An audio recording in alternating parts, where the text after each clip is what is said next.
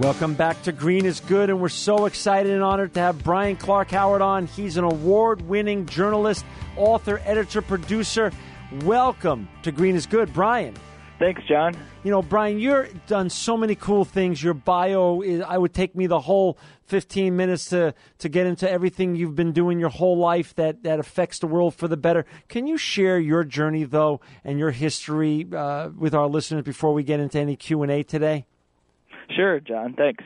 So I grew up in the Midwest, and my parents were huge outdoor people. They always took me camping. Uh, I started out doing a lot of hiking in, a, in the papoose uh, when I was really little. so I always had a great affection, love for the outdoors. I was an Eagle Scout, and I went to college thinking I wanted to study ecology. I actually did research on birds, and it was great. I learned a lot. I love being outdoors, but I realized over time that what I really enjoyed most was the communication aspect, is commuting sort of my love for nature and science to others.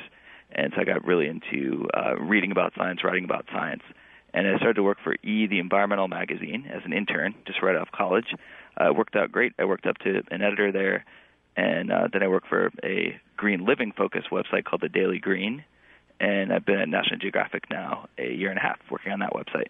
Cool. And so, um, talk a little bit about what you're doing at National Geographic. Like, what's happening over there and what's the hot topics? So a lot of great stuff. It's uh, National Geographic is uh, celebrating its 125th anniversary wow. this year, actually, wow. and it's a great time of convergence for uh, you know a lot of folks know us from the magazine, which is still going strong. Um, the uh, National Geographic channel is uh, actually there's two channels now. There's one called Wild, which focuses on animals, right. nature, and then there's the National Geographic channel, right. which is kind of the flagship. And uh, the more books are being produced than ever. Um, there's Traveler magazine and a lot of action on the web, which is where I spend most of my time. But it's a great time of convergence. We're we've, uh, very active in social media. We're one of the top brands on Instagram, Hmm. where we uh, people share photos. We have amazing photographers around the world who put uh, incredible photos. Uh, that's sort of through the National Geographic eye, the National Geographic way of looking at the world. Hey, you know, we just passed Earth Day. Is Earth Day just become sort of a ho hum day, or is it still relevant to what we're trying to do with regards to the sustainability revolution? Well, I very much think it's still relevant. Okay. Um, I know every year we have there's a big debate in media, and especially among Yeah. people who identify as environmentalists, of do we still need Earth Day? You know, some websites like to say every day is Earth Day, and you know a lot of companies like to say that. Um, I, you know, I think that's great. It's great that it's become more mainstream in a lot of ways, and it's something that people do think about through the rest of the year. That's critical. But I think it's really important too. Uh, it's a really good time to reflect both on where we've come as a movement, as uh, as culture, and uh, to kind of celebrate the gains that we've had. You know, a lot of times it's especially activists get so concerned about what's the next fight around the corner, which Right. is it's great to have that motivation, but it's also really important to take a pause and remember what's been done, and also just to get outside. I always encourage people make sure you do at least one enjoyable outdoor thing on Earth Day. That's you know that's a great message. And for those that just joined us, we're so excited that we got Brian Clark Howard on with us right now. You can check out his great work. I'm on his website right now. It's a very cool website. And Brian, you've, you've put a lot of great stuff up there on brianclarkhoward.com and also. Uh, go to nationalgeographic.com if you want to get inspired about what's going on in the great outdoors and the world around us. You know, Brian, you know, you've traveled the world. I've traveled the world. Europe's got got sustainability part of their DNA. Uh, parts of Asia, Japan has uh, sustainability and uh, good environmental practices part of their DNA. Has green become mainstream here in the U.S. yet? Um, well, I think it depends who you ask. I, I think in a lot of ways it has. Um, certainly, when I started in um, uh, around the year 2000 as a professional environmental journalist, there really was a lot less awareness than there is now. Uh, it's really exciting now that everyone knows what organic food is, and everyone has a pretty good idea of what that means.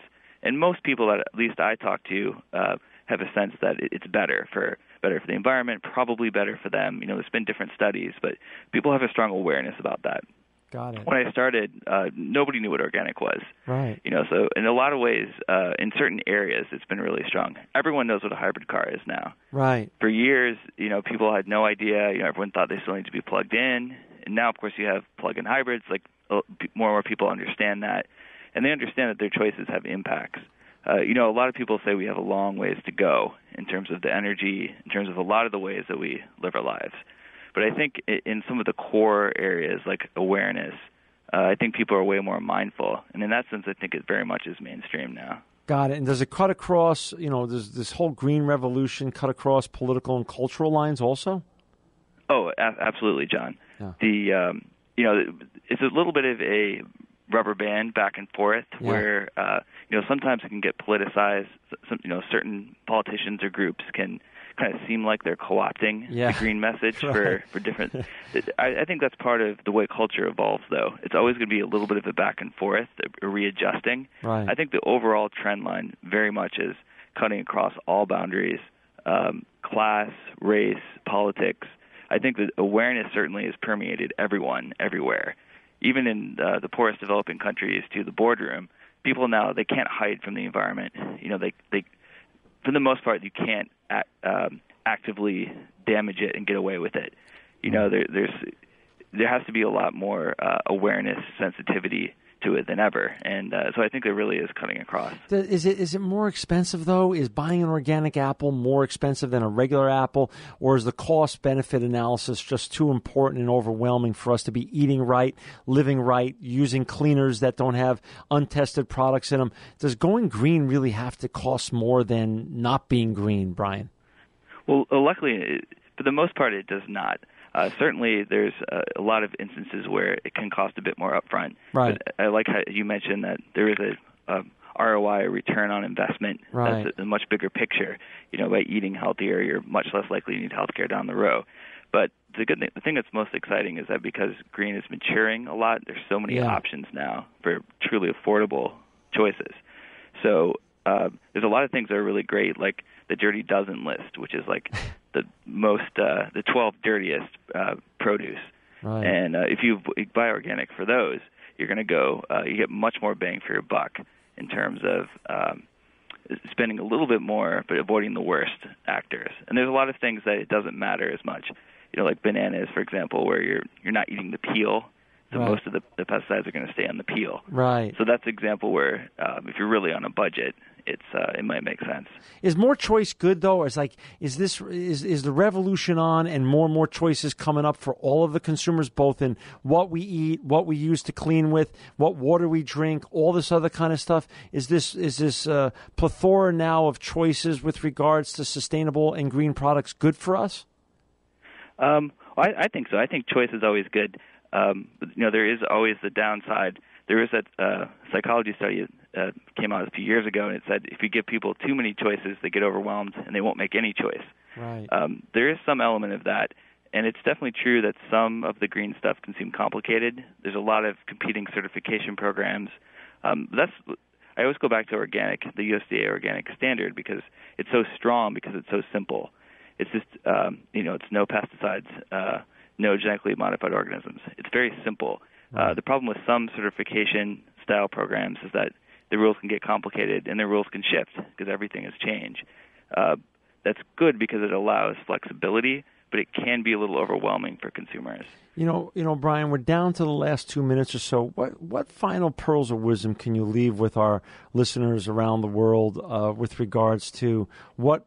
I don't, first of all, how to be, how to live more green, and how to live more sustainability, and and and also, there's a lot of young people that want to be the next Brian Clark Howard. Any pearls of wisdom on on on how to follow that path?